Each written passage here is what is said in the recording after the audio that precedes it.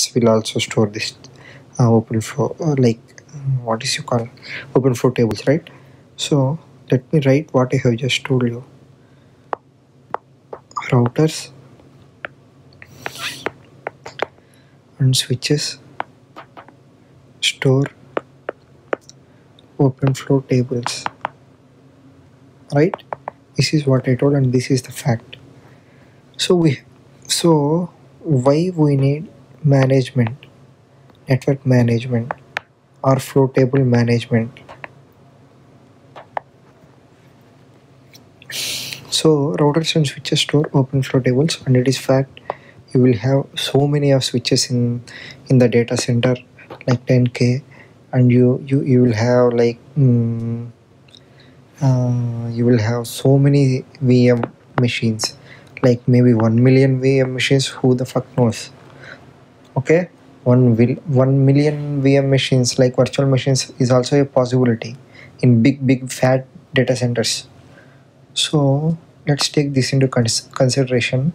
So how many rules we, huh, does this 1 million VM machines will have? Like how many rules we should have to go to flow to navigate the traffic very efficiently or very nicely to the respective VM machines. So so many rules are required. Maybe at least five million. Fucking five million. Yeah. So so in these switches there are only 10k or 100k switches. So it is not possible. See 5 million rules stored in 100k switches not not feasible so like why is not feasible because because of low memory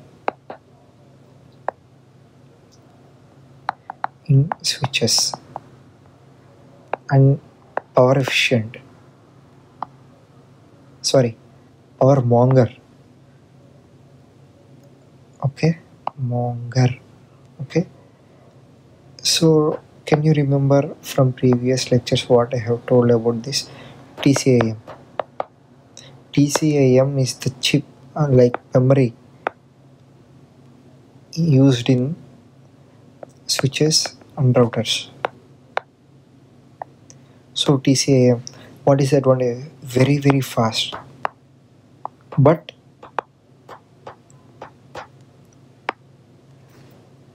low memory and very consumes so much of power so TC, uh, so we should not dump so much of TCAMs and so many like mm, we should not mm, do that so for mobility.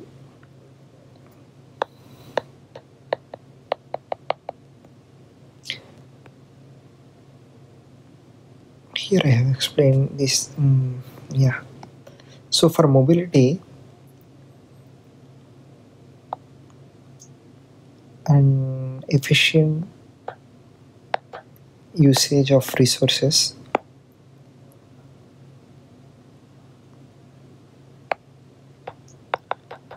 we will use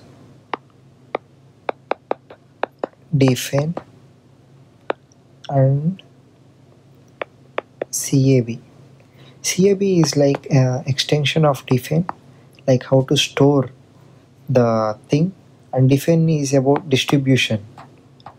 How we distribute the flow table entries. Okay? So in in DIFANE we are going to use authority switches. Like see see this is ethane example right? You already know this